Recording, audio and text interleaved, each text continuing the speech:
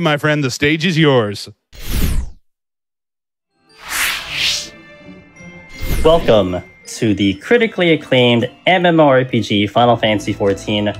Uh, thanks to your donations for the donation incentive, we are now a Bun Boy. It was really close. Uh, it was almost a Lalafell.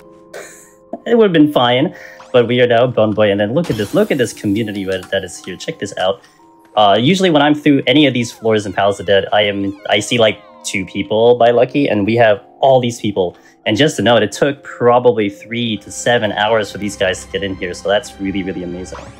Um, so thank you guys for showing up.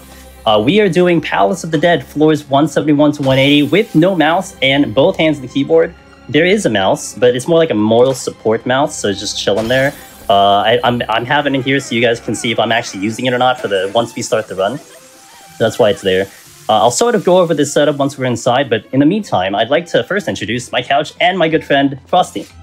Hey, I'm Frosty. uh, for those who might know me from the Final Fantasy community, I sort of run a weekly podcast called Mog Talk. I do a handful of community events. And really, I'm just excited to be here and kind of watch Angelus do something extremely difficult and make it look kind of easy. Thanks, man. Mm-hmm. Um, so let me give a bit of an intro to this run to set the stage of what you're going to watch, and then we'll start up. Uh, some or many Final Fantasy XIV players may know or have heard of Palace of the Dead, which was inspired by a dungeon in another game called Tactics Ogre. But those players probably know, like like, like uh, Mr. Game and Shout said, you probably only know like the lower floors, like 51 to 60, uh, with the match party grind, or maybe the first 100 floors. This content has 200 floors split into 10 floor intervals, so that's why we're kind of in this area that we're chilling about to do the next 10. And you can only step into 101 plus and, and above with either pre-made or by yourself, like we are solo. Uh, what you'll see today is like a snapshot of the entire run. Uh, one could argue it's the hardest set of the whole challenge. Uh, by starting at 171 plus, we are already 7 to 13 hours into this file. So if we were to die today, if we were to duty fail at any point in this one, we will have to return back to floor 1. I don't think GDQ would really appreciate me spending the next 13 hours just getting this file back up, so we'll hopefully uh, get this clear out of the way today. Also, as mentioned, this is the critically acclaimed MMORPG, right, where you can play through the Heavensward expansion for free with no restrictions. This very, this very challenge you can do on a free trial um, which is so cool. And if you never touch the game, if you've never subbed, you can do this like right now. You can like install the game and try it out um, with a little bit of work, of course, but you can try it out. Um, and you can start your journey for the Necromancer title, which is the one I have on top of my head. And you only get that soloing this place from 1 to 200 on any job, but we're taking in Machinist uh, for today. It's the rarest title out in there, relation, think, right? it, is, it is one of the rarest titles out yeah. there. Uh, like less than 1% of the player base has it, even if you include the free trials. Mm-hmm. Um, in relation to that, I will be playing this run kind of similar to free trial uh, even though I am subbed the game. So we are using potions that we will only get from House of Dead, and we are not using food, which we I have like a, a little hard to tell, but I have a full complement of food and stuff I can do because because we are sub. But we are gonna avoid using that, so it kind of has that vibe of the free trial. All right, with that laid down, I'll get up to the that is the exit. I'll get up to the entrance, and uh, time will start when you see the duty commence text show up on the screen. The screen will fade in and out of black, and then it'll duty commence, and we'll start the timer. So let's get it started. All right. 171 to 180. Let's go. Do a small countdown. Three, two, one. Let's go. All right. So first thing I'm going to do, I'm going to pop a Pomander of Raising. So I just said, once we get into, ooh, a nice start. I love it. This is the way this run should start. Um, so like I said, once we start the run, if I were to die, this run will be over, but we do have a power-up that allows us to kind of have like a, effectively a re-raise. So it gives you a little bit of an insurance, and that isn't just a marathon safety kind of thing. It's literally like every single runner who does this would want to have the, uh, the re-raising up, especially on these four specifically. So right here, this is actually a really good example of why Machinist is pretty good. Uh, we do a lot of damage just kind of running around. We don't want to stay in place because this thing hits like a literal truck. Um, and I'm going to try to eliminate this thing in time, but it's a nice, really opening start to this one. So I have to open these chests for the power-ups. That are involved. Um, if you look at the right side of the screen, I have two UIs here. I have one that says floor 171, and I have one that has my character info. So what that is, is uh, special exclusive to this content. The one with the floor 171 is my map. It is randomly generated. You can kind of think of this like a roguelike. So a lot of things are random, kind of where the enemies are spawning, what kind of map we have is random.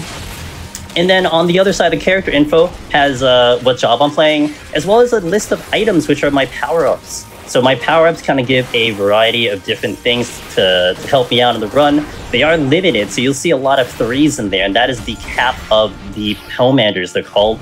Uh, and I don't want to just use them willy-nilly because they're not going to be, uh, they're not going to come very often, and some of them are very, very rare. Now, the chest I just opened up, which ended up becoming a Mimic, uh, that's a chance that happens when you open these chests that are supposed to give you power up. So, as much as it's obviously nice to open these chests to, to kind of get yourself stronger, you are running the risk of trying to ha- handle one of the more difficult enemies uh, in in this set of fours, which is the mimic. And honestly, it's it's a big waste of time a lot of times. You don't want to see them, but you can't not open these chests for that. Um, now, funny enough, I haven't even gotten out of this room because enemies just seem to want to keep saying hello to me. Uh, that's nice of them because it does kind of make it a little bit easy for me to keep this run uh, moving, but that's okay. So uh, let's do a quick explanation of the Aetherpool armor that you see on the character info. You'll see my machinist job name, and below that it's arm and armor. It says Aetherpool arm and armor. Uh, that is kind of the power level system in this game mode. So I do have cap 99.99, which is kind of what you'd like to have on these higher floors. Uh, but you don't even need to have gear from the outside, which really makes this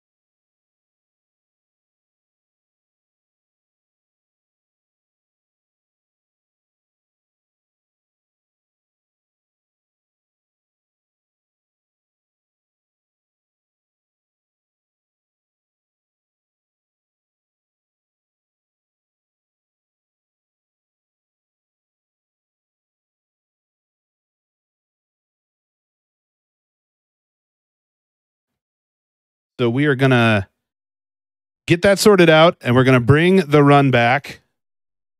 We are warriors of light, friends. We will not give up so easily. I'm going to go ahead and work on some donations while we're doing that. The professor sent in $25. Must have StepMania, but also Bard is the greatest FF14 job. Professor, I'm going to let you get away with that because you're donating to PCF. So I'm going to let you get away with it. Also, holy cow, we are about to cross $89,000 out of the $100,000 that we need to get StepMania added to the marathon. This is incredible. Absolutely keep those donations coming, please.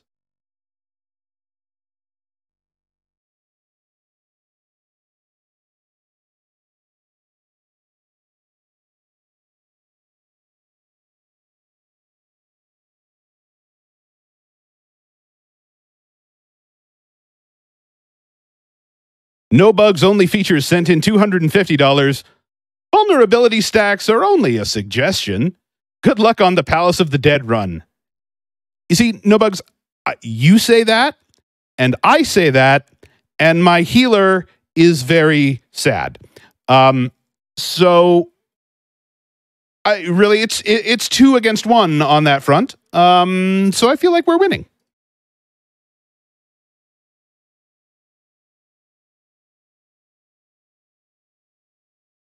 Wolf Prince sent in $50.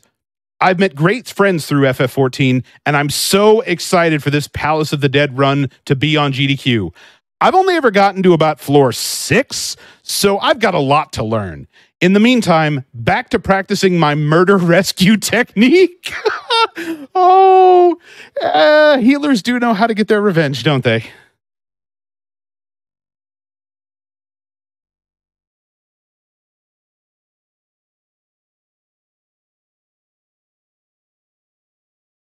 And Sir Bill sent in another $50. Let's see the Manderville Mambo on floor 180. I'm here for, oh, we're over 90K. We're over 90K towards StepMania. All right, Warriors of Light, you know what that means 90K? We're scared of that number. Uh, let's get past it and get it to 100K very, very quickly, please. While we're working on that, looks like we are getting back to the action. So let's go back over to Angelus for the run. Alrighty, welcome back, guys. Sorry about that. Hopefully everything will be smooth now on our end. Uh, let me continue the run. So we just cleared up 171. We will now do some fun stuff in the run. Uh, everything went smooth on the previous. It didn't miss too much. I was just getting uh, getting through some enemies here. So what we're gonna try to do is something. What I'm gonna try to find is a specific trap. So along these lines, uh, along these floors, there are random traps. You'll see like a red symbol over there. Uh, and the, this is one of the reasons why we kind of hug the walls, etc., to kind of avoid said traps. And likelihood of the traps being along the walls are unlikely, but there are some that are going to be there. So we'll do some fun uh, tech, which we like to call the landmine tech here. So I'm going to pull a couple enemies here. I'm going to be using a power-up called the Pomander of Witching, which will transform some of these enemies into kind of a weaker state. Some of them are not that much weaker, but, you know, for the for the sake of just keeping it simplistic. So we use a Pomander of Witching right here. Now, this is a landmine. It looks like a symbol like this. So when I step over this landmine, uh, let me just set this up a little bit. And I'm going to step over it. Hopefully I don't die doing it. Yes, very good. Okay, so that also affects the enemies here um, so it allows me to kind of kick get a little bit of quick kills on these guys to get fast kills and to kind of proceed the full a little bit faster than just doing this normally. Now, this is kind of unnecessary for like a for like a DPS as we are doing machinist here, but that's okay. Um, I just wanted to kind of demonstrate something really cool about that. Now, excuse me while I adjust my thing. There we go. Um, and that's something that you'll see a lot of tanks and uh, healers do on their runs when they do it, because tanks and healers will have a lot less DPS than an actual DPS like Machinist. So ways to make up for that is to do uh, techniques like that in the run. And um, it, it's really useful, pretty dangerous, but it's, it's pretty useful there. Um, all right, so keys open. I'm just going to check some of these rooms to see what the chest is because we did get out of here really fast. So I have some time to uh, see what kind of power ups we get on the run. Let's see. And you're fully stacked up on power ups for this run, I, aren't you? I am, but what's interesting about this set, uh, and we kind of we kind of advertise this as the hardest set, is as much as I am full stocked up, we want to kind of stay stocked up because if we kind of just don't check these chests, it might be really tough to get through without getting a little help from these power ups. Hmm. Yeah, right. you know, one thing that some uh, players might not know, there's like about 20 or so jobs in Final Fantasy 14. Yep. And we're playing the one with the gun that can run around called Machinist. That's right. Uh, that, that's completely uh, probably one of the best jobs to play this content on, or uh, what would you say? Would Red Mage maybe? Well, you know, Red Mage used to be the way to go, but uh, kind of the job in itself is still fine to use, but some other jobs have kind of just shown that they are a little bit more useful, especially with the knowledge that we've kind of gathered with this content. Um, Red Mage has been tough, but like tanks also are pretty good to use in here. Um, but one of the things that, as you as I'm kind of demonstrating uh, how this how Machinist plays out, um, you can see kind of all the the tricks and stuff we can do and the kiting and everything to kind of save us from from taking a lot of damage. Um, okay, uh, Mr. Game Chat, if you have some donations, we can do that now, and then I'll just kind of clean oh, up this absolutely. Getting a lot of love for you here in these donations. Uh, Supreme sent in $50. Happy to see Final Fantasy 14 at GDQ. Been hooked on this game for the last two years now, and might be playing it while watching this. Best of luck to Angelusdemonus, who is going to crush this run. Thank you. Another $50 here from Steffi SR. Glad we got to see the critically acclaimed MMORPG Final Fantasy XIV, which has a free trial up to level 60 with no time limit, including the award winning expansion Heavensward in GDQ. Good luck with the run, Angelus. Wish we had gotten La Angeles. Greetings from the Spanish restream. Nice. Oh well, too bad. Oh! Uh, and fifty dollars from Raffle Skippy. Can we get a shout out for our other crafter mains out there? Uh, yo, shout outs to crafter mains. We would we would be uh, much less well dressed without you. True. Mm-hmm. And so I guess like the uh, what, what were you hoping? What were you hoping to actually win, Angelus, for the uh, race choice? Uh, I mean, I would have liked Miqo'te because that's Yeah. that's what I've been. I've actually been a Miqo'te uh, ever since my days on uh, Final Fantasy XI, and actually the way I'm playing with the keyboard and no mouse is because of my Final Fantasy XI days, Mhm. um, where that game did really have the greatest mouse support. Uh, and I played the game for like seven plus years, and then I've only played 11, FF11, and FF14 as an MMO.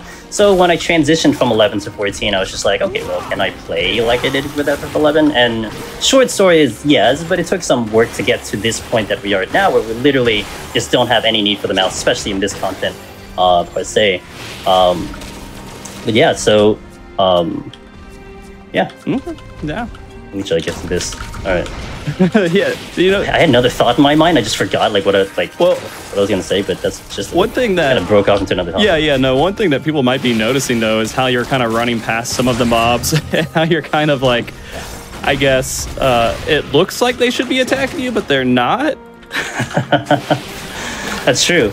Well, some of them, uh, they are, they are, they have like different aggro uh, rules to them. Some enemies will aggro via if they see you. Some enemies, enemies will aggro what we call proximity, where you just if you're nearby them, they will aggro you. So a lot of times you'll see me kind of run behind certain enemies. It's because I know that they are sight and they're not going to give me a problem. Um, whereas other ones I kind of stay away from, and because I know that they probably, no matter what I do, unless they're just out of the way, they're going to they're going to give me an issue. So just for an example, like these two enemies in front of me, this this Damel over here is a proximity. So if I get near to him, he is just going to plain out aggro. Uh, whereas the the Bandersnatch is over here, that's the tiger. I just have to make sure I'm not in his line of sight. And there, I just got kind of close to that, and uh, boom, he aggroed.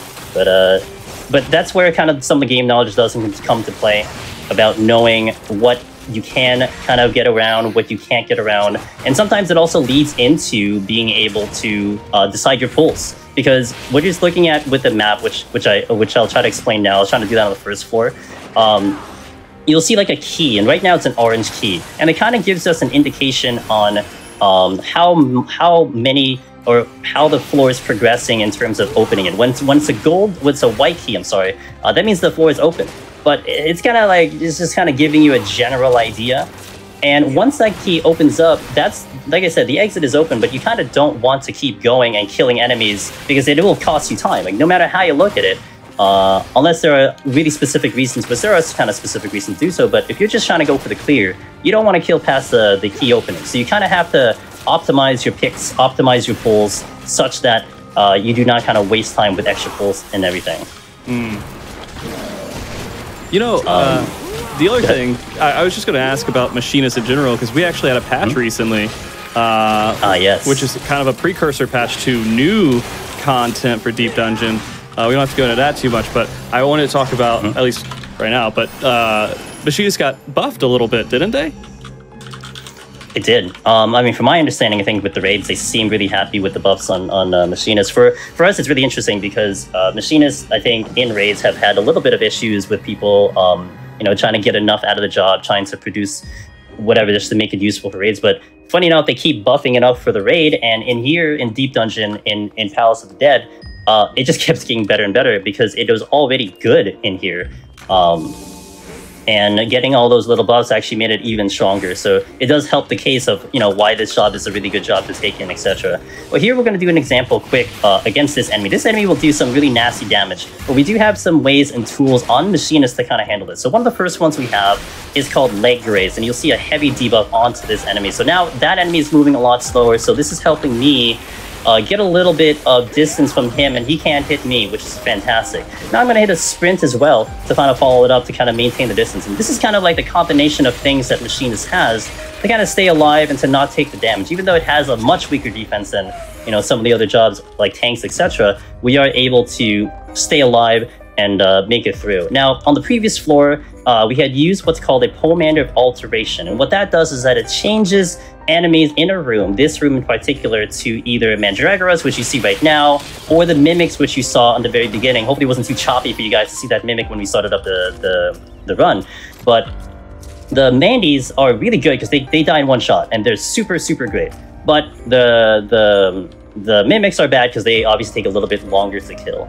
And also at the beginning of the floor, we picked up a Pomander of Flight. Oh, there's another mimic. Speaking of, um, we picked up a, uh, we used a Pomander of Flight, which will effectively reduce the the amount of kills I need to get off a floor by half. So to get off a floor, the average that you're looking for is between four and eight kills. Uh, if you use a Pomander Flight, now you're looking at probably two to four kills potentially. So that's really like a nice time save.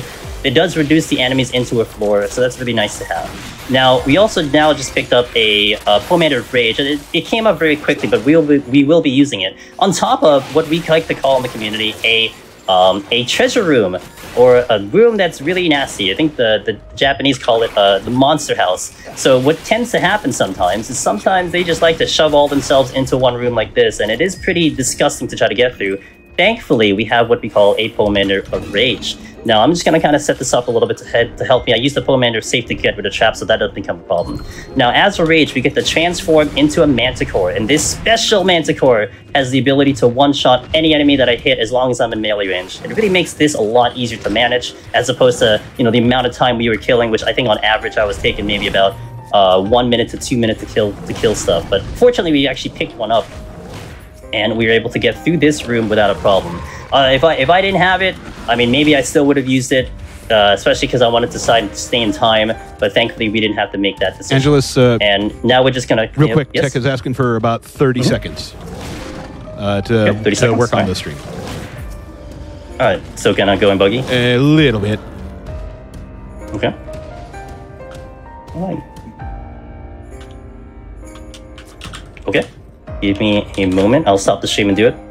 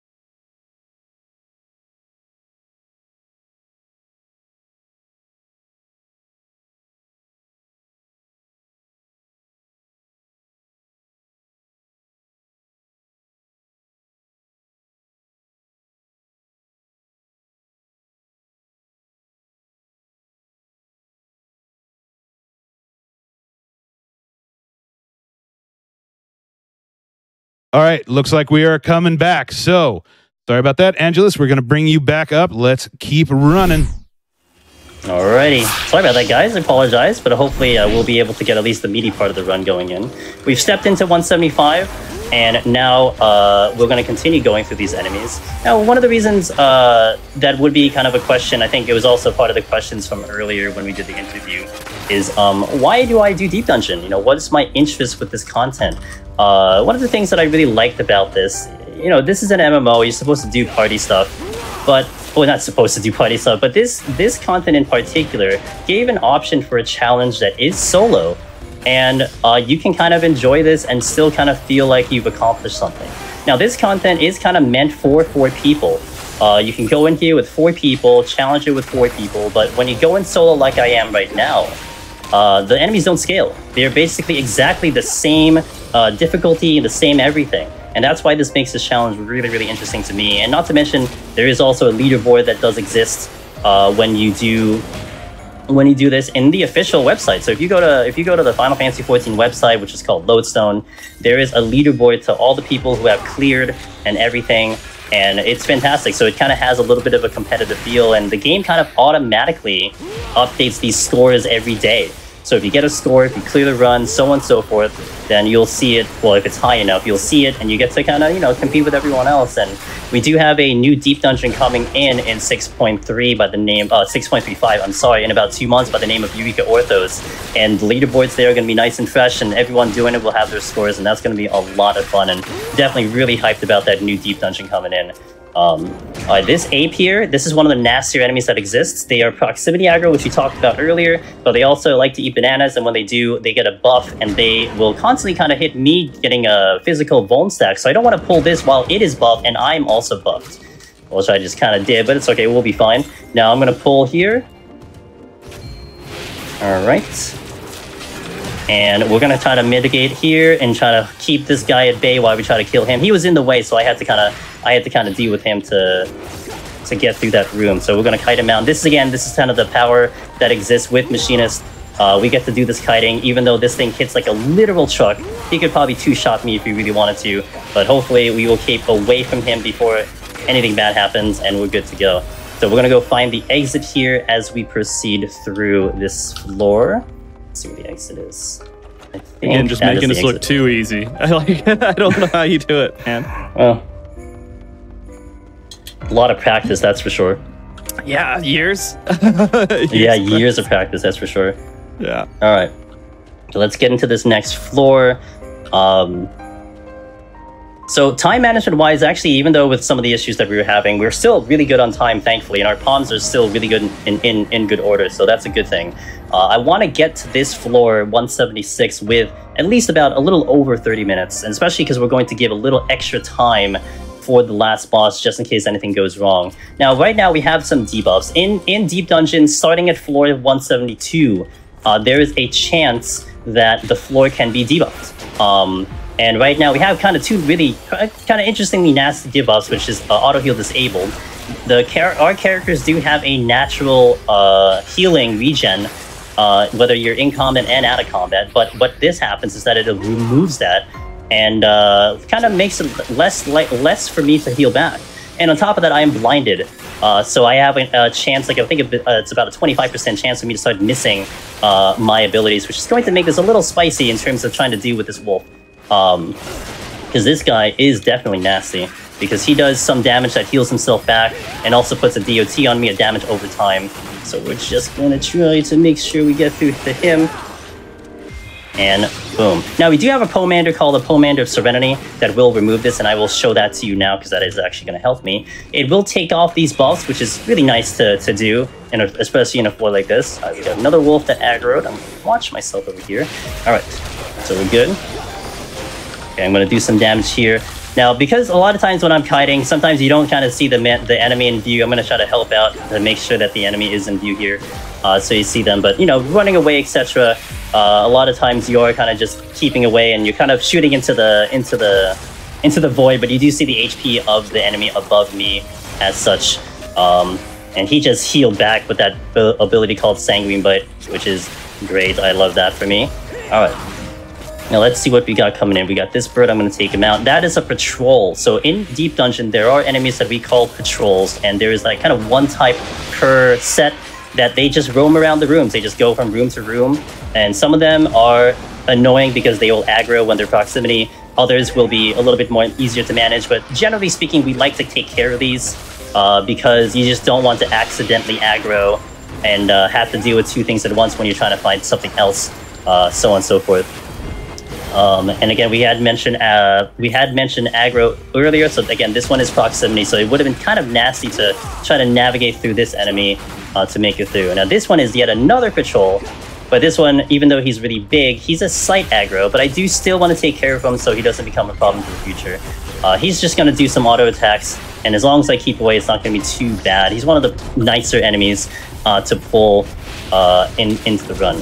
Now, Palace, Palace of Dead is actually old content. Uh, funny enough, I was mentioning earlier when before we started that if you wanted to do a free trial, which goes up to Heavensward, uh, you can end up doing this content. And this content is Heavensward content in reality. Uh, it was released in Heavensward. Uh, wait for that debuff. It was released in Heavensward back in 2016, but lots of people nowadays are starting to get into it, starting to realize it's a challenge, and then not to mention you're dealing with people who like they're achievement hunters, and and this content kind of um, kind of adjusts to the time. You know, it doesn't it doesn't kind of get like obsolete uh, as jobs are updated, it does you know shift around if things are a little bit easier, a little bit harder. Like for instance, uh, Paladin is one example where uh, it got just a tiny bit harder than it had been prior to the new patch that came in on Tuesday.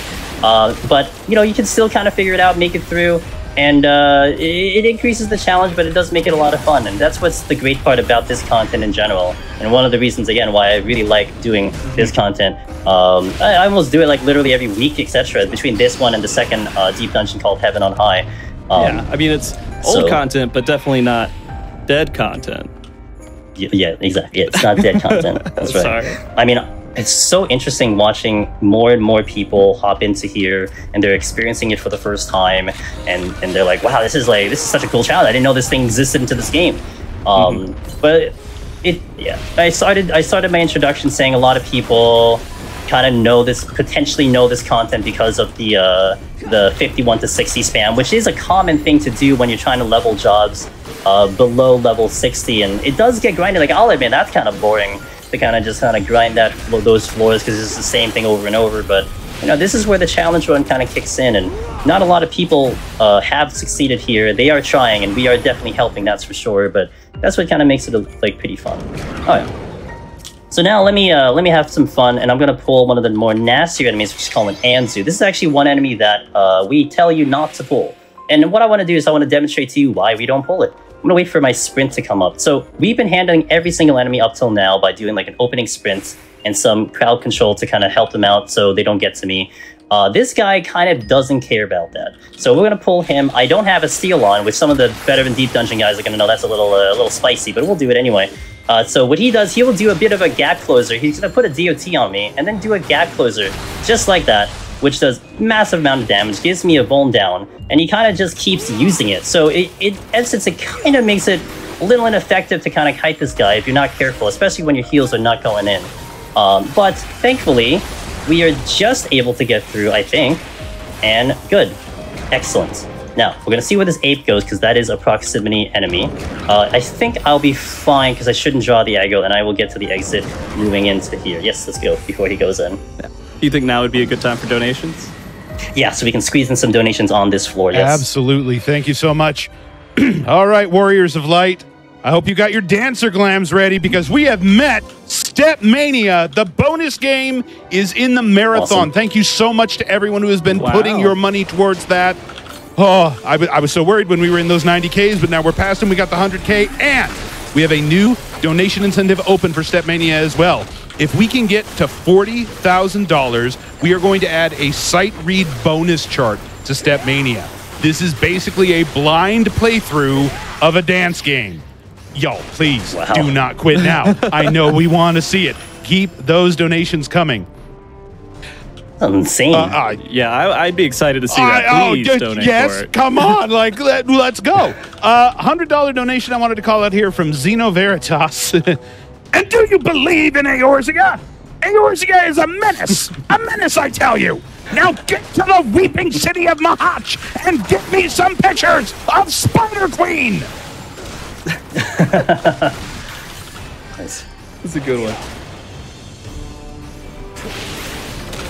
Hey, All right, I've got a $50 donation here from Annie Beta, longtime warrior of light, new raid healer. It only felt right to make my large donation to help PCF be during the Final Fantasy XIV run.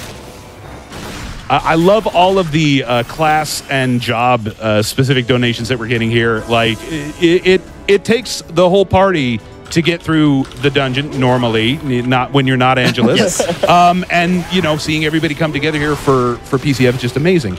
Uh, Fifty dollars in from one more name I recognize, uh, Urian J. Algarel Pray accept mine humble donation for thy noble and honorable cause. For those we have lost, for those we can yet save. Postscript, thou didst a fine job, Rising Way. Well done, my friend.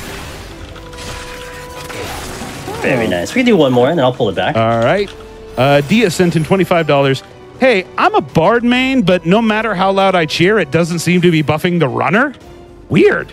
Oh, well, it's the thought that counts. Range, physical, DPS solidarity, and love from Brynhildr.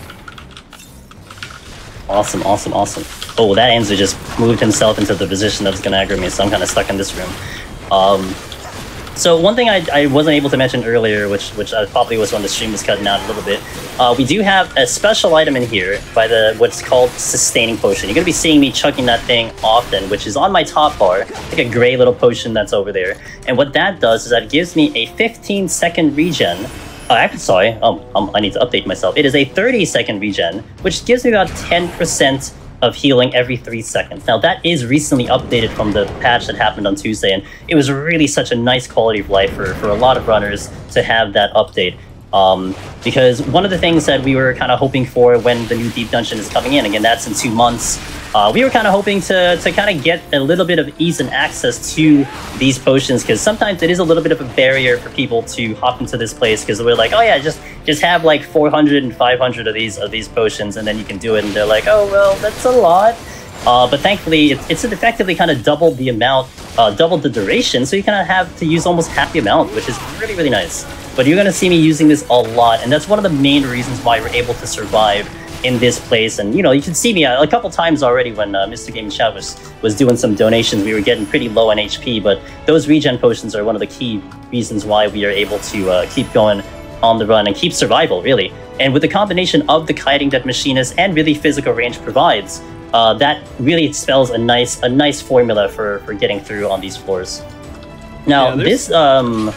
Oh, go ahead. Go ahead. No, I was going to say there's a lot of things that are happening on your screen that's very difficult to explain. like, I don't know if we would ever hit all of them. I mean, I don't think we even talked about Peloton that you uh, keep using as well, right? Oh yeah, yeah, yeah. So you're gonna see kind of a green animation that I use, um, and which is called Peloton. It, again, another another benefit of this of this class and this job because it gives me increased uh, movement speed as we go through the floors. And when you're trying to go a little faster and try to try to get through these sets, uh, going moving faster when when you need to go from room A to room B is certainly a nice thing to have. Um, now, in this floor, what you're gonna see is that it's all literally gloomy. The, the actual debuff is called a gloom. Um, and you'll see the kind of like a like a almost like an angry icon on the map over there. So what happens with this debuff is that it, it kind of buffs up all the enemies. You'll see in this Corel that I'm fighting at the center of the screen, you'll see kind of uh, one icon to the left, one to the middle, and one to the right. The left icon is that it's doing increased damage to me, which is not nice. It's already hitting hard enough. The middle is that it's doing it has increased defense, which is fantastic as well. And then it also has increased movement speed. So, you know, for them to already walk pretty fast to, to get to me, they're now moving even faster just like, oh, this is great. So I'm gonna have to probably use the witching here only because I don't have very many defenses. uh, yes, nice and spicy. But hopefully we don't die to a chicken. So I get to explain a little bit on the on the witching mechanics. So witching, which we just used, will transform an enemy to three different things. We get a frog, we get an imp, and we get a chicken. Uh, the frog would be the best because it'll just like hit you for like literally single digits, even for these enemies that high. Chicken, you're, you're probably looking at about half the amount of damage, about 50%. If you see an imp, it's a little concerning because that could do close to uh, 80%, if not 70% of its original damage. Uh, and you better die. Okay, good. Because in if that's already powered up and that was doing a lot of damage, that could be very, very spicy. All right. So I need to go a little bit faster here, looking at my time. I do want to get to uh, Behemoth in about with about 20 minutes remaining, so we're gonna kind of speed up just a tiny bit. Uh, it- this this run goes fast, um, and and you think like an hour is a lot of time, but in reality, it's just it, it just goes in a blazing amount of time. So we'll try to navigate through here. I'm probably gonna do a Pomander of Rage while I try to get through this one. I'll do another Witching can kind of help me out. We're gonna do what we call, uh, what the community likes to call a double rage. And what a double rage means is we're going to take a Pomander of Rage right here, and I'm going to try to use it on this floor and try to take it into the very next floor. Uh, it's kind of the really nice thing about this about this power up. Aside from it being in essence a floor wipe, uh, it does also provide this this thing to stay in the transformation, and it does last 60 seconds, so it's really good. Let's see if we get enough kills here. We do not, so I'm actually going to hit this trap which is a luring trap, and that spawns three additional enemies. Normally, that's extremely dangerous, but because we are in a rage, that is providing me a little bit of extra kills just to get off the exit.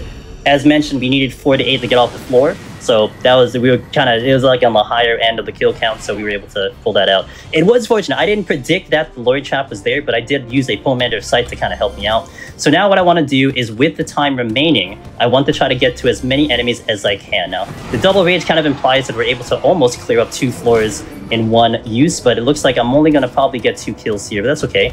Uh, and actually, this this set of debuffs is the more nastier one. So before I take it out, I'm going to kind of explain what's going on. We have the Gloom Floor, which we explained earlier, which increases the damage of enemies and their defense. But on top of that, I have uh, HP down, which reduces my HP. So not only are they doing more damage to me, they will also kill me a lot faster. So we will use the Serenity for this one to kind of make my life just a little bit easier. And then now we're going to proceed and try to get through this floor um, with enough time. I want to try to get off this floor uh, hopefully within the next three minutes, but the next five minutes will be okay too. Um, now, this room is actually very interesting in particular. We call this the donut room, and it is actually a beautiful thing to have when we are kiting, uh, because a lot of a lot, enemies have to pretty much have to run like ring around the rosy essentially, but it provides us time to kind of get uh, some distance away, and is one of the best rooms to kite literally any enemy uh, into into this into this floor. And fortunately, also um, one thing I did not mention, we did mention about traps, that there are traps on the floor that can randomly spawn, and those are the red symbols, that, like the one I just stepped on on the previous floor. But the spawn room, the room that we just spawned in, which is this one, does will never have a trap. Yeah, it'd be kind of mean if like, you know, you take, you load into the floor and then one one step later you get into a trap. So thankfully, um, you don't get to hit a trap here, and we get to use this to our advantage while we're getting through um, this set of floors. Yeah. Uh, one thing that I, did we even mention when you were in the Fury that you were just kind of going through and knocking people dead, but you're not invincible in that mode either. That's right. it's a no, you're not. I, I could take damage, um, and you know, there's a bit of a, a wind up for those attacks too. So you have to kind of really manage yourself and not get a little too, you know, too wild and crazy. You know, just aggro mm-hmm. ten things and just hope you kill them like one at a time. And then also a little bit more of a com- complex tech is that there is a debuff that exists in here called No Knockback, which we didn't get to see on this run so far. But basically, the Rage Pomander that we do twice in the run, uh, it is aided by the fact that if you're able to kind of push back the enemy, a knockback, when you hit the enemy with the with your hand with that Manticore, it, it knocks them back into like the wall or something. But when there is no knockback, uh, that Rage effectively is completely useless because it doesn't do the one-shot kill, and that has definitely caught a lot of runners uh, in general because they they are like so excited they use rage like I'm gonna use this really powerful uh, floor wipe and then they use it and then they're like oh no knockback and doesn't do damage and I've seen lots of runs end that way or even just like you die right on the spot because you're like I'm I'm oh so powerful mm-hmm. but then not quite because you take that damage. Yeah, let me see if I can do a little tech here. We have a silver chest here which we haven't touched. Hey, yes, thank you for showing it to me. So, silver chest, we have three different chests here. We have a brown, we have a bronze chest, we have a gold chest, and we have a silver chest. Now, a lot of times in this specific content, Palace of Dead, silver chests are generally useless. Well, not useless. They they do are they are the ones that level up your Aether Pool, which we had explained earlier, and I hope that that was heard by the audience. Um, but once you're at 99.99, it kind of becomes just something that you don't really need to need to have and need to use. Um, however, they do have a chance to explode. And those silver chests can actually kill you if you're a little bit low HP. So I kind of set up my HP to be a little bit higher, and it does hit the enemies. And as you saw when I used that silver chest, I was able to get kind of a quick kill on the enemy. And I'm very thankful for that to show up because uh, that, that doesn't happen very often. So at least you got to see that tech, which is really, really cool. What's the uh, chances um, that's going to actually happen when you click on a chest? Um, the chance of them happening is uh, every time you don't want it to, and never when you want it to. That's when it happens. Yeah. Well, it happened when we wanted to this time, so it did. Thankfully, yeah, that's real. That's, uh, maybe it's a marathon luck kind of thing, you know? Yeah. All right. So we're gonna probably clean up a couple. My time is still pretty good. Hopefully, if I'm not out by this kill, I may have to go a little bit faster just to make this up, but we should be okay to go. Uh, I do have a pull up there, which I'm going to go for. And again, I would like to have a little over, a little, a little over, say, 18 minutes for the boss, because that boss is the really the the hardest part of this run. I mean, I don't know. I don't know how it looked to you guys watching. If, if this looked hard, I mean, you know, sometimes some people say, you know, kind of make it look easy. Like Frosty said, we can make it look easy, but time to manage the time and manage the power ups, etc., uh, are all part of the challenge. And having the game knowledge of what to pull and whatnot. Yeah. But the boss in itself will have like just an additional layer of a challenge. Um, unlike basically the entire nine floors we've been doing, that boss is kind of scripted. And if you do raids, if you do parties, uh, that's got a little bit familiar territory. And a lot of the raid bosses are scripted fights. Uh, they will just, you know, it becomes like a memory puzzle game to know what, what it's going to do next, so on and so forth. Um, and that is what Behemoth is, but it does have a little bit of an extra uh, layer to that difficulty. And we'll talk about that when we get in there. Um, But basically its initial rotation up from 100% to, thir- to about 20% is like nice and smooth but once you get down to once you push it down below 15% it starts getting real angry and it'll start casting ecliptic meteor and ecliptic meteor will do literally 80% of all your hp and it does it non-stop every 10 seconds and there is no way to stop that unless you basically kill it or it kills you. And with Machinists, we don't have that many tools to heal ourselves, so we have to do a little bit of a DPS race to make this happen. Now, I'll explain this a little bit in terms of the strategy that we will employ, and then we can do a little bit of donations until I get it to about 30%. But basically, what the strategy I'm going to be doing is kind of a clockwork, uh, clockwise strategy. This thing will drop two Charybdis AoEs like this, and they do expand bigger than the initial AoE that drops. So I do want to kind of park them in a way that they're kind of out of my way. I like parking them at the edge of the arena so it kind of keeps the middle of the arena clean. Next up, this this boss will go to the south end where I spawn and do an ability called Trounce. And I just want to bait it out that way so I'm clear. Now I'm going to hang over here and we're just going to follow the clock. It's going to do another two Charybdises as it goes here. And I'm going to move out of that. Again, I want a little extra space because that thing will expand. And this is more or less what you're looking at with this fight. So this doesn't look overly threatening, but later on, like I said, there's going to be a whole setup that we need to do um, that is really, uh, I would say, pretty complicated, pretty difficult because you could mess it up. Uh, we got to hold our, our damage so that we don't push it too far, too fast, and then get everything open with a big burst to be able to handle this thing in the amount of time. We will also be doing a strategy that is a little bit newer. Uh, we call it the itemless strategy. Usually, we will use a healing potion or a power up potion uh, to increase our damage, but we will do none of that, and it will make this a little bit harder. And that's one of the reasons why we kind of have a safety net on this boss. So if I fail the first one, we'll kind of do it the normal way after that. But hopefully, I'll nail it on the first go. So from here on until about 30%, Mr. Game and Shout, you can do some donations. All right, just cut me off when we're good. Chico Leg Day Yeah. sent in $214. Red mages are such nice people. Every time I help one out, they say, thanks a vermilion. Shout outs. oh, oh come on. Shout outs to my FC mates, fellow healer mains, and anyone dodging the Limlom, Limlom chat log. Angelus Demonus received a player commendation. GG on that. Uh, Thank you. Hitterata sent in $100. White Mage was the first class I mained. Don't worry, the only hit point that matters is the last one. And I know where Raise is on my hotbar. Also, I have some Gil I found lying around in these pockets. That's the kind of attitude that gives tanks a heart attack. Uh, a $25 donation that says, Warrior of Light checking in, take my frames for this run. I'll donate an extra $25 if the announcer can correctly say my Warrior of Light's name. Oh boy. Fakust Eve? Cross my fingers there. JNA sent in $200. Such donation. This was my intention. Very nice. Yeah, I'll, I'll take Praetorium Donos. I'm here for that. Uh, Zyros with $100 on that theme. Cyrus. And from the deepest pit of my wallet to the very pinnacle of the heavens, this stream shall tremble. Unleash donations! From all of us at Team Drifter, thanks for being an awesome friend and teammate, Angelus. Thank you, Team Drifter. Appreciate it. Uh, Chris V sent in $500. Dark Knight Main, really excited to see Palace of the Dead here at GDQ. Good luck, Angelus. Eldritch sent in $50. Been so excited for the Palace of the Dead run, I have barely been able to get to floor 50 solo. Also, shout outs to my girlfriend and our IRL Miqo'te, Ethel, and Winslow. Incentive goes to StepMania, do the Manderville. Uh, quick check on that. For those four bonus sight read charts, we've got a whole light party's worth of extra content. We are just over 6,000 out of the 40,000 that we need to get that in. So please keep those donations coming. Uh, what are we at on percent here? You can do one more donation. Okay.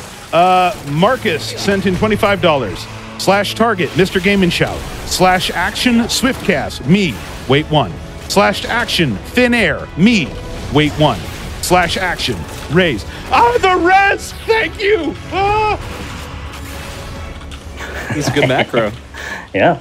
Alrighty, so we're at 30%. What we're gonna do, we're we haven't used this Pomander yet, but we have a Pomander called a Pomander of Lust, and it turns us into a Succubus. And what that does is that it, it allows us to do a special property on the boss, which gives them vulnerability stacks, which basically, we want to be going for five stacks, five hits in the boss, because it will then now do, or we will be able to do 50% more damage on the boss, which is, you know, it sounds like a nice little little luxury thing, but that is actually something that is nearly required to make this run.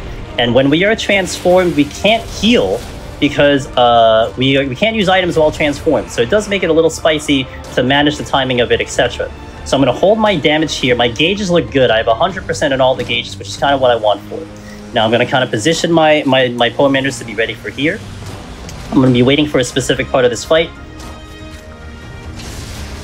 I'm going to do my sustaining. I'm going to do a tactician, which is a defense thing. And now I pop the Pomander of Lust here. I'm going to move out of this AoE.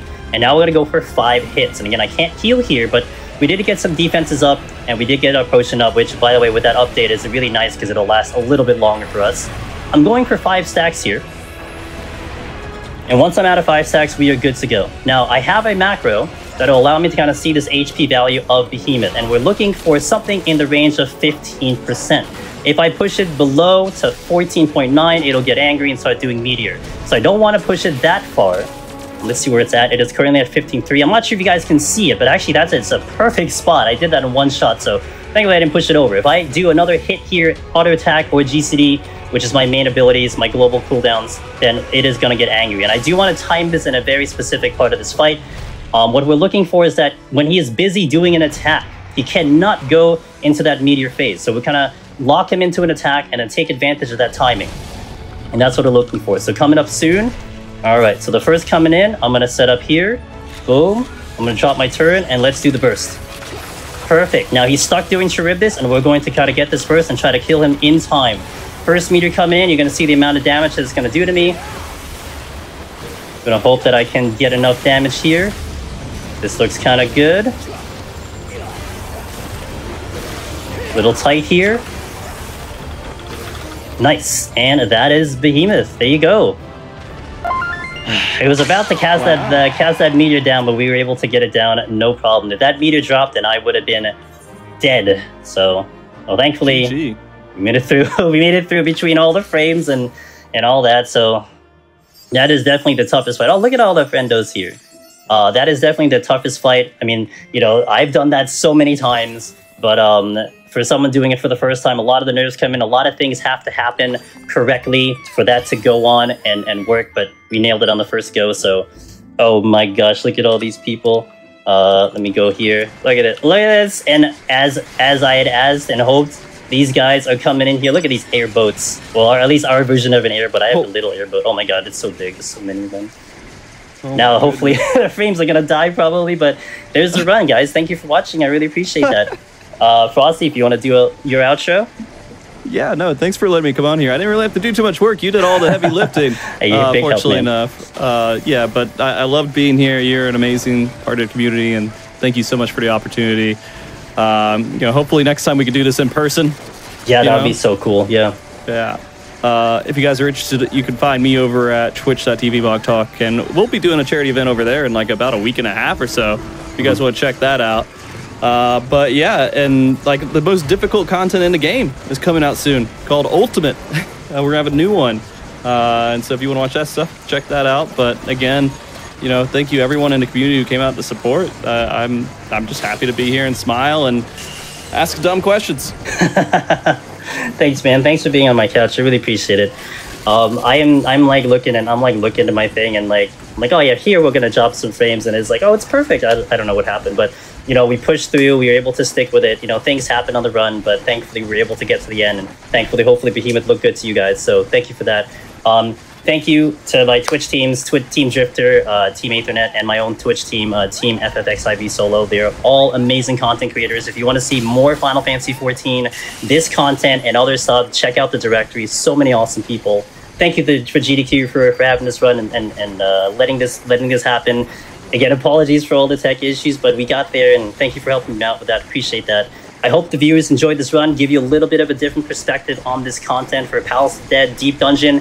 We got the new one coming in in two months. It's going to be a little less floors, 100 floors, but um, it's still a really tough challenge, and I'm going to be diving into that uh, big time when that shows up in about two months. If you want to find me, I'm Angelus Demonus, uh, twitch.tv slash Angelus Demonus. Check out the About Us and the links for our Twitter, the YouTube channels, and our amazing, amazing Deep Dungeon uh, community, solo community not just me, but so many people are there to help you if you're doing it for your first time. Like I mentioned in the beginning of the stream, free trials can come on here and try this specific challenge. So if you want to do that, we'll help you out. We'll give you all the all the starting kit and everything.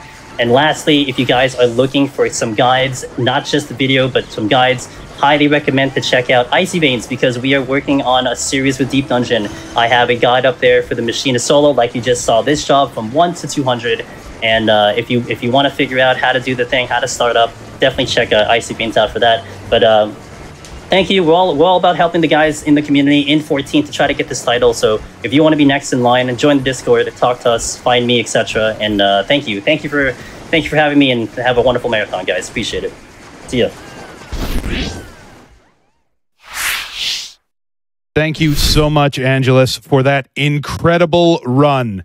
That was amazing. And also, that's a lot of airboats. That is a lot of airboats and of whale. And uh how I I, I I'm genuinely curious how many of the people on that mana cutter right now have like not busted that out in literal years. Holy cow, that was incredible. Thank you, everybody. I do want to get a couple more donations in real quick here. Um, I guess I got it right because Fakus Steve came back with another $25. Such donation. It was my intention. And then uh, uh, this one made me giggle so much. Uh, Fierce Wolf sent in $50. Miqo'te White Mage reporting for duty. Could you imagine Gaius as a botanist? Lush vegetation. This was entirely my intention. Putting these $50 towards the StepMania bonus charts, and we are making great progress on that. We are over $12,000 out of the 40,000 to get that done. So everyone, please keep those donations coming. All right, we're going to come down a little bit from the hype. We've got a quick word that we want to make sure to get in from some friends of ours here at GDQ.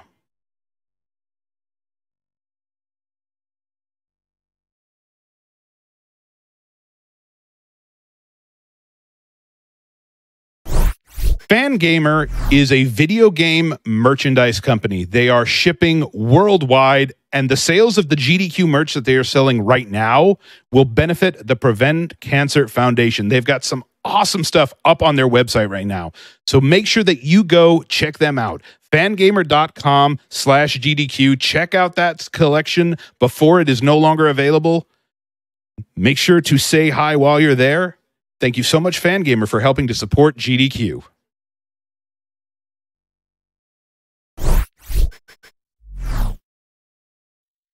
All right. I need to calm down a little bit from that. Everybody stand up, stretch, take a break, uh, let those cool down, refresh, but don't get too far. We've got more awesome runs coming up right after this.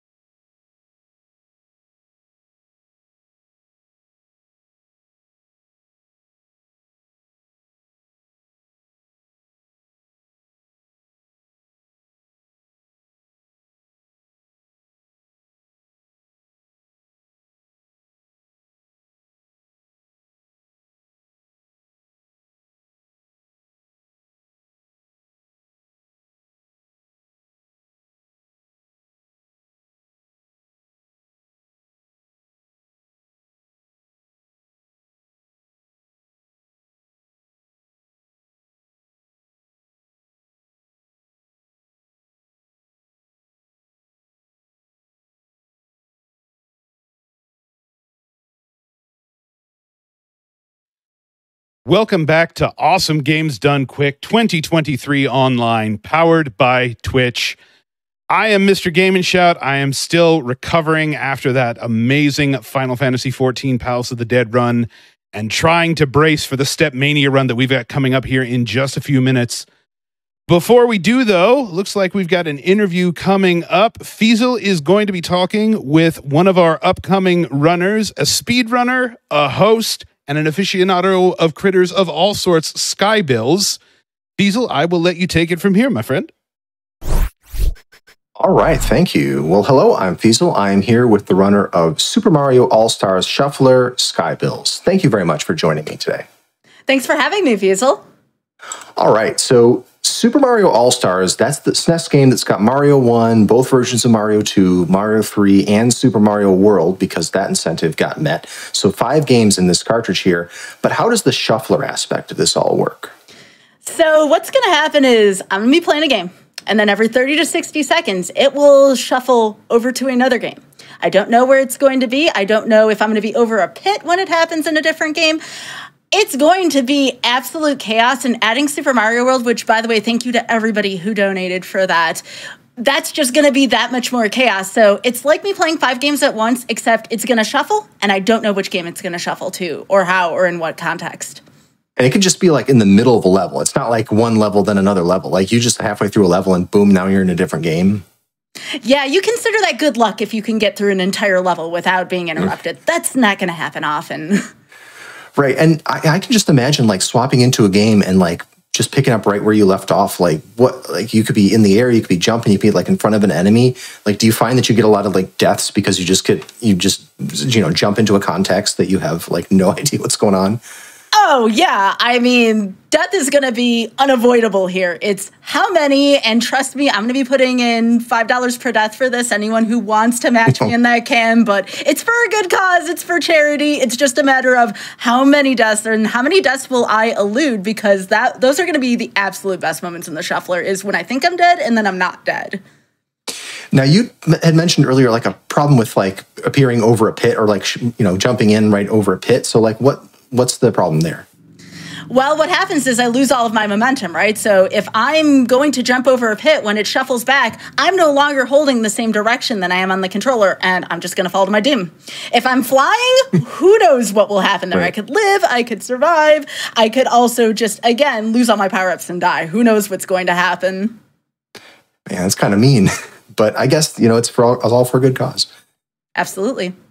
So you are definitely playing five games simultaneously like you're making progress in five games simultaneously. Like what do you do to like keep context? Like are you in your mind are you keeping track of all this? Or is it like the screen fades in and you're like okay here's where i am. I'm just focusing on this. Or like do you have kind of like a broader like you know stored up like all, where you are in these different games I'm not going to lie, I go purely off of muscle memory and which power ups I want to have in a game. That means I'm going to be sacrificing a little bit of speed for safety because this is more of a survival run, not a speed run. We will be doing some fasts in that. We'll be doing some strategies, but again, ultimately, we want to survive more than go fast. So it's a matter of prioritizing that in terms of how I react. How I react is how I'm going to react. I don't have a fixed way of doing it because, again, the shuffles are going to happen randomly. It's like a seed in a randomizer, right? Like there's no way to prepare for it. You just go off of instinct. Yeah, and you probably will have different power up combinations, right? So does that mean you have to kind of practice all these levels, you know, small Mario, Fire Mario, like the various, you know, Mario types? Oh, absolutely. I'll have a preference for what power ups I want, but sure. I'm going to have to know some of what speedrunners refer to as DLC, right? I'm going to want to know where every power up is in my route. And some stages or some levels, I'm going to want certain power ups, then I'm going to want another. In Lost Levels, where I play as Luigi, I'm not going to want to grab any power ups at all besides a star. Why? Because I move better as small Luigi there. So again, it's all up to a runner's preference. And that's what makes these shufflers so great. Every runner is going to play them differently. You all are just going to see the Skybilz's interpretation of this tonight. All right. Um, so you're doing like no wrong warps as the categories for these games, but are there any kind of like glitches or skips that you will be taking advantage of? Oh, absolutely. I mean, I have to do a few, right? So one of my favorites is the 7-2 ladder jump in Super Mario Brothers 2 US, mm-hmm. where you skip most of 7-2. I don't want to play through 7-2. You all don't want to see 7-2. I don't want to shuffle through 7-2. So that's going to be one of the big ones there. Probably the biggest skip of the entire run. Oh, I kind of like 7-2. That's too bad. No, I'm just kidding. I actually really like when people go off the top of the screen and fun things happen. That's actually my favorite thing. Mm-hmm. All right. So we've got an incentive for Special World. One incentive was already met to add Super Mario World, but now we got another incentive to add the Special World of Super Mario World, which are some difficult levels. So how are you going to incorporate that with the Shuffler? Yeah, so Special World takes place at the end, and there's going to be time to meet that incentive. So, what I'm going to do is, if I'm at the end of all the games and we just have Special World, you all don't want to see me just play through Special World. That's boring. I'm going to be adding some Lost Levels levels onto that. So, once I'm done with Lost Levels, if the incentive's met, I will save and quit, go back out to the menu because it's all stars. And then I'll start over at 1 3 and start playing through Lost Levels Warpless for however as long as it takes for me to get to phase 2 of Bowser from Super Mario World. Then, what I'll do after that is I will turn off the shuffler for Lost Levels, and we'll have optimally these beautiful credits from Super Mario World to accommodate that. Right, that's right. Keeping it in the keeping the spirit of Shuffler going makes sense. Mm-hmm. So, do you recommend Shuffler to other people, and why? Why? Why do you recommend Shuffler? Well, what I First of all, yes, absolutely, I would recommend Shuffler to everyone. And here's why. You don't need to know every single speed strat. You don't have to know any speed strats. You just have to know what's in the game, how to survive, and you just need to have fun. I mean, again, you know, in any other speed run, it's like you don't want to make mistakes. You don't want to, die. But like the key part, the key part is the content that happens as a result of it, right? We can always turn on a VOD or even speedrunning websites and see the fastest times ever, but the mistakes, that's where the beauty is, right? How do you overcome death? How do you work through death? How do you work through suboptimal situations? Again, it's just a whole run into its own. And again, as for everyone trying it, it's one of the most accessible forms. Challenge runs. I mean, this is very cutting edge stuff where speedrunning, casual, I mean, just everything intersects. Like, do you enjoy the game? Great, you can play a shuffler. Yeah, it sounds great. It's like a real like visceral experience. It's just like you read and react and you're just kind of like in there in the moment and not necessarily planning about exactly what you're going to do next. That sounds really cool. Yeah. Okay, well that is all the time we have to chat. Thank you very much Skybilz for talking with me. Well, thank you, Feasel, again, too. And I really hope everybody here enjoys the Shuffler. Thank you so much again for donating for Super Mario World 11 Exit Glitchless. We'll have five games now in the Shuffler. Now let's just see if we can hit that Special World incentive. That's right. That Special World incentive. You got some time. You got one run and then the daily recap. And then right after the daily recap is when this Shuffler is going to happen. So everybody stay tuned. A couple hours from now, you get to see this awesome run. Hopefully the goal will be met. Um, but with that, we'll throw it back to the host.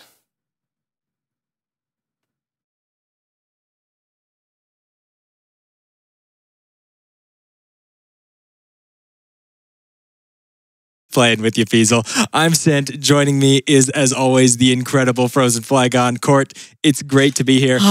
Look, Twitch chat, I'm going to be perfectly honest with you. We had like this whole bit planned. Uh, I grabbed myself, you know, an incredible fun little shield and sword combo from our friends over at Heroic Replicas, uh, which is actually quite weighty to the point that yeah. it has ripped my headset half off my head. Give me one second on there. I got Court something very much resembling a staff we were going to do a, a cane. Yeah, we were going to do a really fun uh, the Omega Protocol kind of intro to call back to Final Fantasy 14. The problem was we couldn't get up because we just spent the entire hour standing Glued there going, to the screen. Wait, what? Court was Court not being a Final Fantasy player no. was asking questions, and I was sitting there going, I- am sorry, did you just landmine on a Machinist? You you absolute madman! I love it. That was an incredible oh, run. Huge so round fantastic. of applause for Angelus for that happening. But tonight isn't over. We have so many more incredible speed runs for you all to see. We've got Step Mania coming yes. up next, and we have some more bonus. I, we told you, we told you we there were going to be bonus tracks for Step more. Mania. There are right now. We've got a four pack of sight reads. That means these are charts that Demo has never seen before. Just gonna do it live on stream, see what happens. You want that to happen. We want that to happen. Let's make it happen. And the easiest way to make it happen is to get some donations in, put them towards that incentive. And while you're getting those donations in, you're going to get yourself eligible for prizes. We have so many great prizes to talk about, Court. We absolutely do. And the important thing is get just get $25 in. That's going to get you into everything that we're talking about here. And then $50 for our day prizes, which are fan fantastic. You don't want to miss them. Let's specifically talk about some of the prizes we didn't get to show off last time because they're so cool. Uh, like from Iggy Zig, our good friend and host, this absolutely incredible oh. crystal Mewtwo uh, Pokeball here. A uh, little bit Yep, there we go. A little bit hard uh, to get in camera frame right now, just because uh, I'll be honest, it's got a really short USB power cord. We've got a And laptop hidden under the table, laptop. but we had to show this thing Oh off gosh, lighting up because it, it looks fantastic. It can cycle colors. It can stay on a flat color if you prefer. It looks incredible. Iggy, where do you find these prizes? I must know. But what I do know is that for a $25 donation, it and all of the other prizes that we have available right now could be yours. Absolutely. And, uh, you know, one of the day prizes we've been talking about, we didn't get to show in the previous segment, we've got the Diddy Kong uh, that is the, the Diddy Kong like paper uh, on its wooden stand. It is so beautiful. I just absolutely love the detail that has been put into this. We've been showing, we showed it off early this morning, but it's still available now for bidding if you get your $50 in now. It is it is so incredible. Yeah, we get to show it off here on camera real quick. You've got uh, Diddy in the cart. Uh, you know, zooming by on the track there. You've got a very, very little tip top in a hover boat uh, and a Pipsy flying a plane over the arch. It is it is just absolutely fantastic. You see the detail in those little Yeah. trees, in every element of the scenery and the foliage. Again, that is all done from hand cut paper, which is absolutely ridiculous. Thank you so much to our good friend Sky Berkson for sending that out to us. Again, $50 donation, but you've got to get that donation in today. It's also, of course, going to get you entered in to win a wonderful collector's edition of Final Fantasy XIV Yes. Endwalker, the newest expansion. It comes with so much cool stuff. An absolutely lovely statue of Ardbert, the Warrior of Light, as a paladin, a great print set, uh, this adorable Loporrit keychain, the Pin of Azim, and so much more. $50 minimum donation. You can't get it anymore. Get that donation in. It could be yours. Also, for the Shmup fans in the audience, I know you are out there. We've got some great Shmup soundtracks for you from Cave, different Cave games here. Uh, we've got uh, Dodonpachi Daifukatsu. We've got Dodonpachi Daifukatsu Black Label. We've got Dodonpachi Daiojo. Uh, we've got Death Smiles. There are so many great soundtracks. Yes. And again, a lot of those you can't just go get. You have to have basically been at the event they were released at. If you wanted the physical copies of them, you can get a whole bunch of them right now if you win that prize with a $25 minimum donation. And it works out really well because this prize block ends at Espgaluda, which is the shmup we've all been excited to see this event. you don't want to miss a single run that's coming up now. no.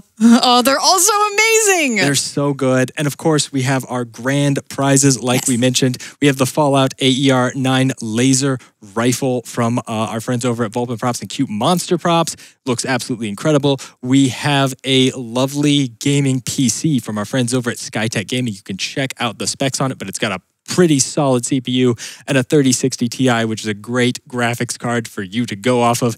And from our friends over at Heroic Replicas, we have a bunch of really cool replicas like the aforementioned Oh, Hylian shield here. I know. Oh, it's a little bit bigger than this uh, this print even having as well. It's, it's a little bit larger in person, huh?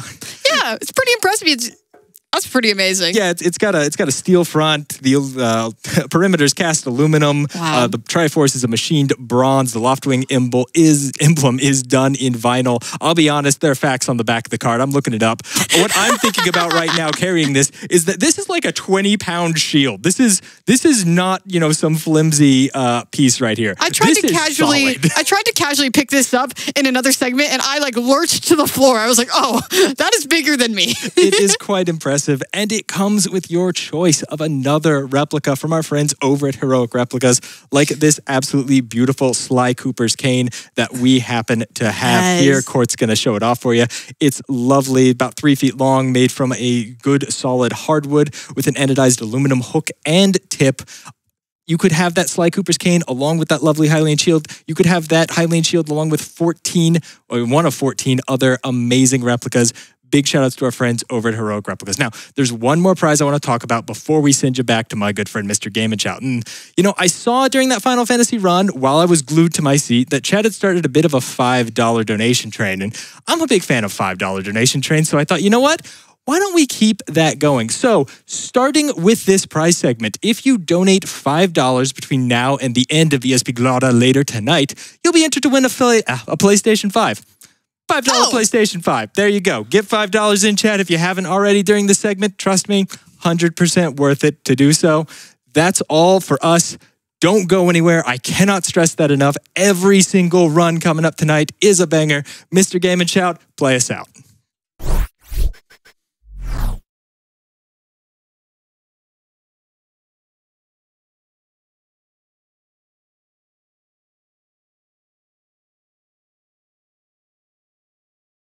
Thank you, Sent. Thank you, Frozen Flygon. Great to see you as always. Was that $5 for a PS5? Uh, that is news to me, but that is all the more reason to keep those donations coming. Please keep them coming. Uh, I want to get in one more real quick here a $25 donation that we had from Weasel. I told myself I had donated enough for this year, but Final Fantasy 14 at GDQ, a sight read StepMania incentive, Mario All Stars. Fine, take my money. Thank you, Weasel, for those $25. Quick update on that StepMania incentive. We got the bonus run in. We're about to head to it, but we've got a follow up incentive there as well. If we can hit $40,000, we are going to add four bonus sight read charts to this Step Mania demo. So, uh, checking on that now, we are at about $16,500 out of the $40,000 that we need. I know you might be thinking, oh, they're adding it to the end. We've got like an hour on that. No, no, no.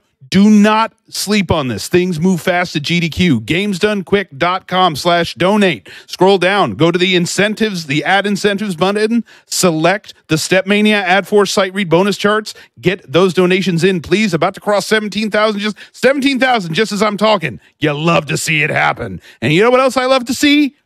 Dancing on GDQ. I love that we get these. I'm so hyped for this one. All right, Demo, I'm not going to hold you up any longer, man. Show us your moves.